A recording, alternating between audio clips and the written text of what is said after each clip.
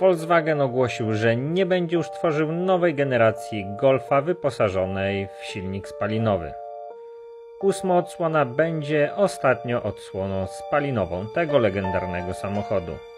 Volkswagen chce, by do roku 2030 80% europejskich sprzedaży stanowiły elektryki. Szczerze nie widzę, jakby to miało wyglądać, gdy 80% samochodów byłoby elektrycznych, gdzie byśmy je ładowali, no i przede wszystkim czas ładowania tych samochodów. W moim odczuciu technologia aut elektrycznych pozostawia jeszcze wiele do życzenia, pomijając ceny samych nowych samochodów elektrycznych. Zasięg, no ale przede wszystkim te stacje do ładowania jest ich bardzo mało i ładowanie nawet na szybkich stacjach trwa kilkadziesiąt minut.